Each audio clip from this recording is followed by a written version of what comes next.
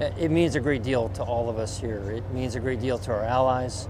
It sends a very clear signal of our commitment to peace and security, and we're going to learn a great deal from it. Uh, we're going to learn about the logistical aspects. We're going to be able to engage with different allies in exercises throughout Europe, uh, in the you know the central part of the of the continent, and certainly uh, in Germany and Poland.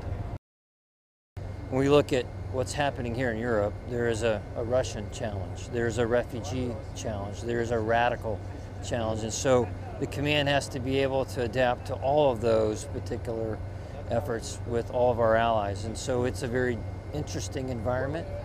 And so as we work with our partners in their ability to handle any of those three particular functions, the Russians, the radicals, and the refugees, uh, you know, that, that really outlines the scope of what we're doing. So it's a fantastic time to be here. It's a very interesting time uh, in history. This means a great deal for NATO. Um, when you start thinking about um, what we had back in the, you know, at the end of the Cold War, there was a tremendous amount of capability here on all four of our services. And certainly we had a peaceful uh, transition there. And so the, the reduction in forces was roughly 75% uh, in a ballpark figure. And so there was the luxury of having that peace and stability. Uh, the activities that we took on then to embrace the Russians was to make them a partner, make them part of uh, the whole dynamic, and, and they've changed that.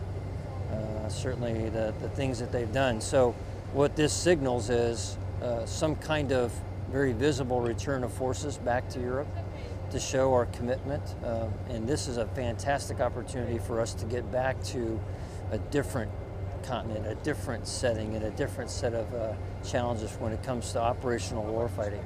So when we think about this, if you're the, hopefully, if you're the NATO allies, you're looking at a return of U.S. commitment at a time when it's very clearly needed. Uh, the feedback I was given over the past year and a half from allies of the immediate responses that we in Europe took in, on the American side to go and bolster allies, sending forces to Poland, sending forces to the Baltics. It was an immediate signal of our commitment, clearly in the face of that Russian aggression.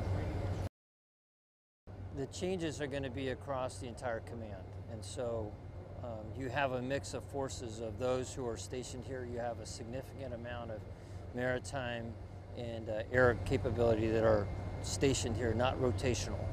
Um, and uh, well over uh, well over half of the forces uh, are from the Air Force, uh, just under half are, are from the Army, and then the rest make up the, the Marines and the Navy. So, you know, they have been engaged in all kinds of activity. Many of the forces not only support European activity, but African activity. And so we've been engaged from Israel, the Horn of Africa, uh, you know, all the way up into the high, uh, the high north, uh, surveillance and reconnaissance activity in the Black Sea, the Baltic, uh, the exercises that we've been engaged in, the multilateral events. It, is just an increased pace for everybody. Um, and many of it, many of those opportunities are things we don't get to do, you know, outside of Europe. So it's, it's a great opportunity. Those of you who are assigned here, I hope you continue to enjoy your time in Europe. Uh, for those of you who are deployed here, thank you for being away from your families. And certainly want to highlight all the great work our civilians do, uh, the contractors who support us, and the most unsung team and the most uh, rewarding of our, uh, deserving of our praise are our families uh, who go through so much, and they've been at this for quite some time.